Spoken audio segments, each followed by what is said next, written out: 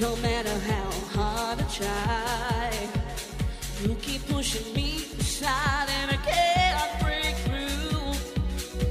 There's no talking to you. It's so sad.